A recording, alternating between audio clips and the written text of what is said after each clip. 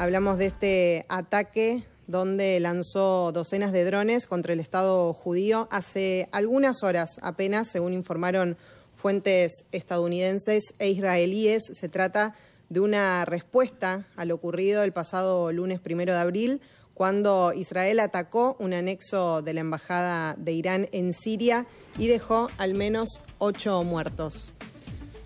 Esto eh, tiene que ver con lo que sucedió en la noche del sábado para nosotros en la Argentina. Allí residentes de distintas ciudades de Israel, incluida su capital Jerusalén, se refugiaron ante el advenimiento de ataques. Las Fuerzas Armadas israelíes aseguran haber interceptado decenas de drones armados en las fronteras del país. Mientras tanto, fuentes oficiales de Irán afirman haber alcanzado la base aérea en el desierto de Negev y en distintas ciudades iraníes la población celebró en las calles la decisión del ataque.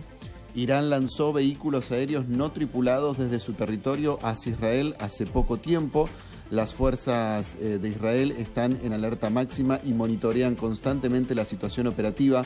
El conjunto de defensa aérea de las fuerzas está en alerta máxima junto a los aviones de combate y los buques de la Armada israelí que se encuentran en una misión de defensa en el espacio aéreo y naval israelí monitoreando todos los objetivos. Esto es lo que dijo el ejército de Israel como vemos allí en pantalla.